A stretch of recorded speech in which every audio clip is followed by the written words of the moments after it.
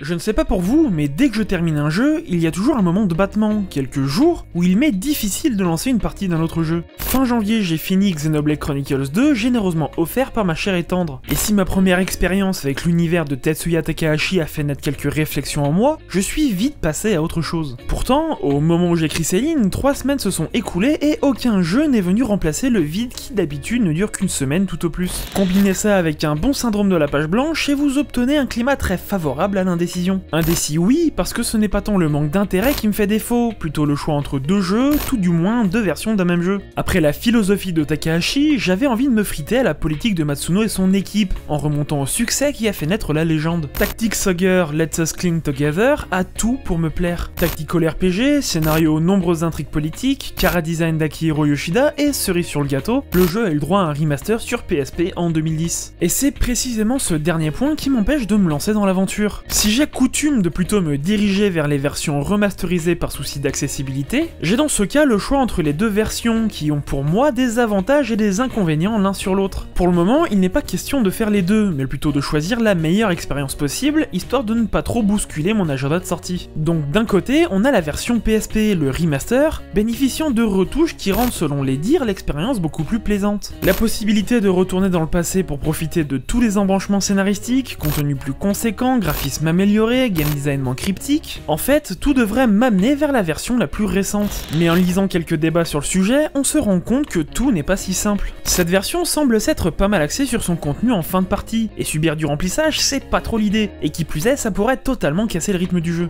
De plus, les nouvelles mécaniques visant à rendre plus agréable l'expérience de jeu me semblent ne pas aller dans le sens de l'idée derrière le titre d'origine. En effet, quelle est l'utilité de retourner dans le passé si le but du jeu original était de faire des choix et de les assumer? Pourquoi rendre le jeu plus simple alors que la mort définitive est un élément essentiel dans ce genre de jeu? En fait, ce qui est un avantage sur l'original au nom d'une meilleure expérience peut tout autant servir d'inconvénient au nom d'une amélioration qui peut aller contre l'intérêt du titre. D'un côté, encore une fois, on a un réel besoin de remettre au goût du jour des jeux qui, avec le progrès technologique, sont devenus désuets en moins de temps qu'il ne faut pour le dire. Le jeu vidéo est un média très exposé à ce progrès puisqu'intimement lié à l'évolution de l'informatique et de son exploitation. Ainsi, jouer à un vieux jeu peut l'expérience totalement rédhibitoire tant certains aspects de celui-ci, comme l'ergonomie, ont évolué à pas de géant entre temps. Pour correspondre à un public plus large, et aussi pour l'argent, les graphismes, l'aspect sonore, la programmation, mais aussi l'expérience utilisateur sont actualisés. Et je dis pas que ça n'a aucun intérêt, seulement qu'on peut facilement dénaturer une œuvre et penser qu'on propose à peu de choses près la même expérience de jeu. Parce que de l'autre côté, on a un jeu qui certes accuse le poids des années, mais qui est la juste vision de son créateur. On a, à mon sens, un jeu qui a été conçu à une époque, avec les limitations que ça engage tant artistiquement que techniquement. Ces limitations